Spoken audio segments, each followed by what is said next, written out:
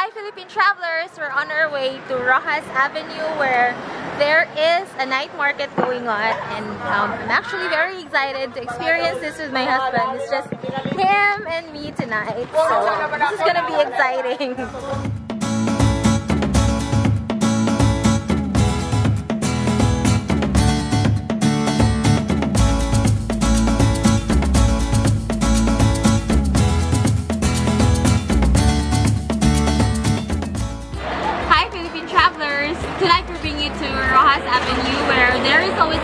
market. It's not just every weekend but every night of every day of the week.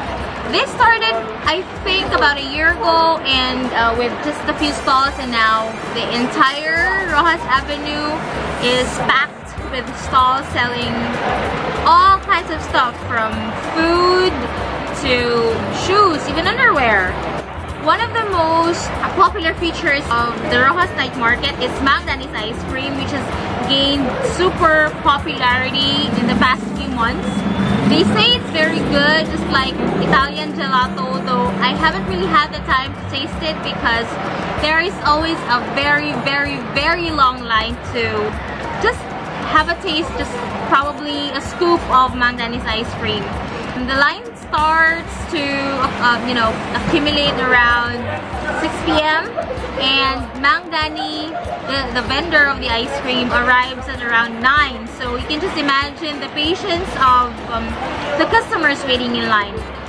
Now, um, aside from Mang Danny's ice cream, of course, there's a lot of street food for sale here. And if you're a lover and if you don't have stomach sensitivities, this would be a haven for you, just like myself and my husband, we really enjoy street food, all kinds of street food, grilled, barbecued, deep fried, steamed, whatever. Whatever it is, we like it. There's barbecue, there, there's even potato curls, deep fried chicken innards. I know it's a bit gross to think of, to think about, but once you try it, it's really good, especially the isaw, which is barbecued or deep fried chicken intestines. If you're up for that, then Roxas is the place. There's also the famous balutes and a lot of dim sum. If you're up for a heavy meal, there's grilled fish, grilled chicken, squid, and other seafood. You can find all sorts of stuff here, especially the ukay-ukay part of the night market. Ukay-ukay is actually just surplus stuff from different parts of the world. There's shoes, all kinds of shoes, men's, rubber shoes, sandals, high heels, boots, children's shoes, aqua shoes, whatever you want. I'm sure you'll find something here, which is actually good thing if you're looking for cheap stuff, if you're just gonna use once or twice, and you know, for costumes or something like that. There's also clothes, skirts, blouses, shirts, jackets, whatever clothing item, even women's underwear.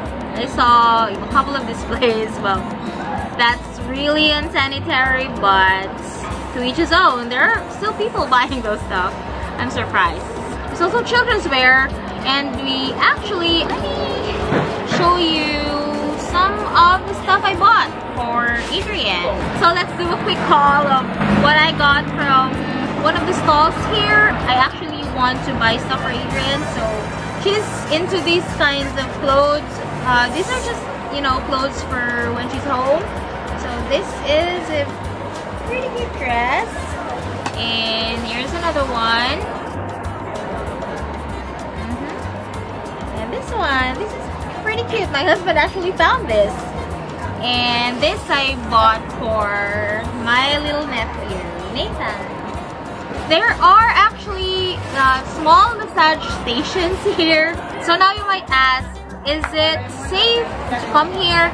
Yes, it is very safe. There are actually a lot of officers, you know, roaming around and in, in outposts here. There is a patrol car in the mid, right in the middle of the night market to, you know, keep people safe. So yes, it is very safe, although I have tips.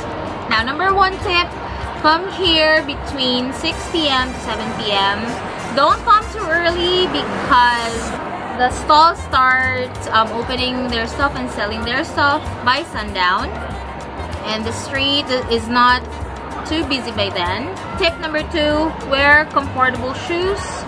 Um, I, I suggest you actually, I'm actually wearing flip-flops now because the last time I visited this area, I was wearing, what, sneakers?